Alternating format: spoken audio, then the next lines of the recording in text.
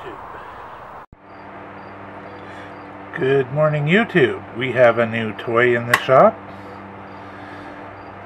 That is a uh, that is the cheapest uh, digital tachometer available on AliExpress.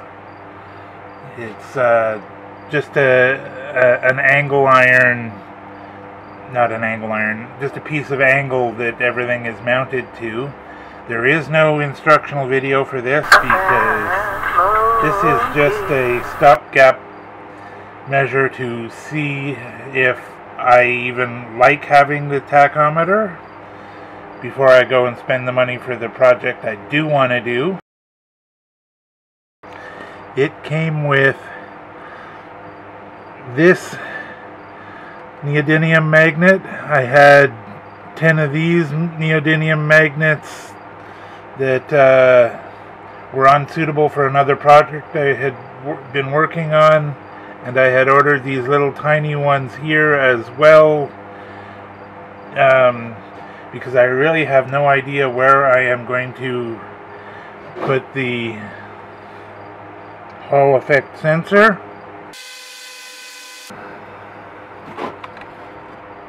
In the process of trying to figure out where I want to put the Hall effect sensor, I decided I needed to figure out the back gear's clutch system because whatever turns when the when the cone pulley is disengaged from the main gear will turn with or without the uh, back gear setup. So it's a, it's a appropriate place to put the uh, magnet for the Hall effect sensor. So I unscrewed that that uh, machine screw there, what I thought was all the way, I turned the machine on and there was a clacking sound, so I turned it off again. I went and did some more research because I was sure I had read back in the annals of history that you just had to loosen that screw. And everything I have found, nothing for Barnes lathe, but everything I have found for uh, every other antique lathe it's a pin that you pull out completely. So, I pulled the pin out completely, the clacking sound went away, and when I put the pin, or when I put the, the machine screw back in, it doesn't, it doesn't re-engage the clutch. That means I have to disassemble the headstock, yay. So, first things first was un undo these two screws, take off the bearing, which is not in wonderful shape. It's not in bad shape either. I'm not going to worry about trying to replace it. And then my lathe has a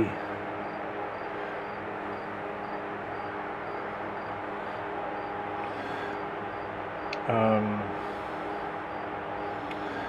walking collar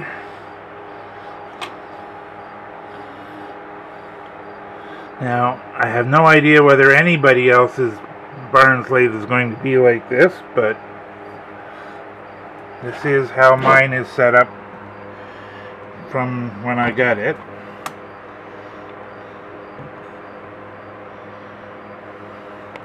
And then it has a 16 tooth uh, brass bronze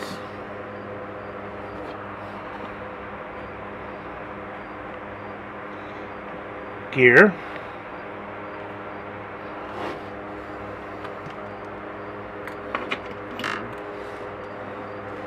then it has the oddest Woodruff key I have ever seen. It is not a Woodruff key. It's a quarter 20 machine screw that was screwed in and then filed off to resemble a Woodruff key.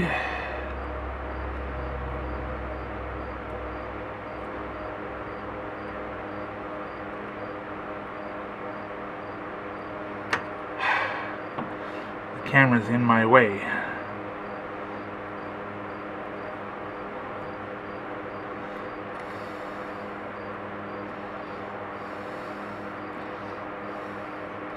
But I do have two guys subscribed to me specifically because they have the same lathe.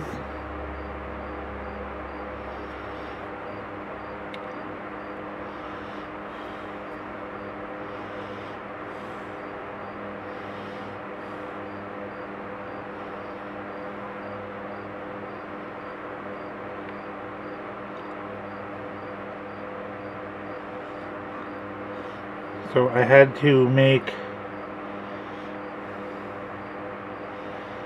a special driver for that that just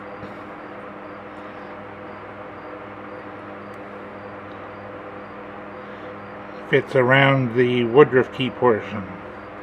The battery is going dead here.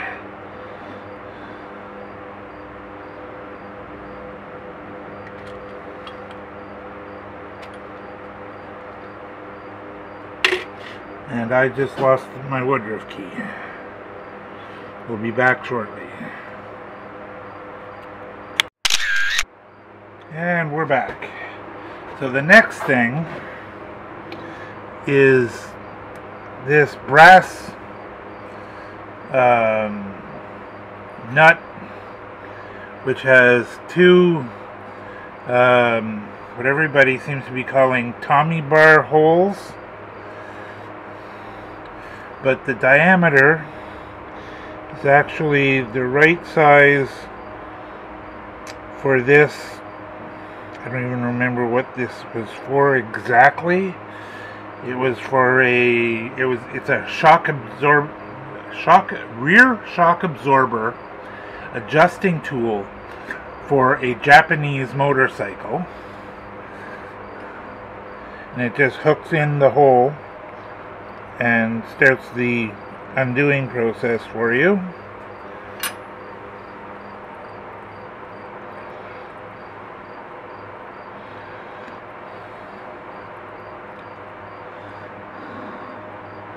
So when I get this sorted out, I think, what did I do with my pencil? I think I will be making an aluminum spacer to go from here to here. So it's stepped three times inside that will be a light press fit onto this size and a, and a clearance fit over this so that hopefully it will spin exactly in time with the uh, with the spindle. And then I will mount the uh, I'll mount the uh, Hall effect or I'll mount the neodymium magnet in that. And there's a little machine screw hole right here. Hopefully I'll be able to mount the uh, the uh, Hall effect sensor out this way over here. So that is as far as I have got in the teardown of this thing. And it is already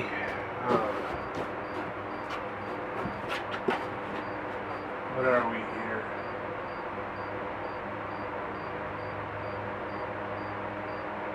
almost uh, almost 25 degrees Celsius which is just about 78 degrees Fahrenheit and I am sweating like a racehorse. So I think I'm going to leave this here for now and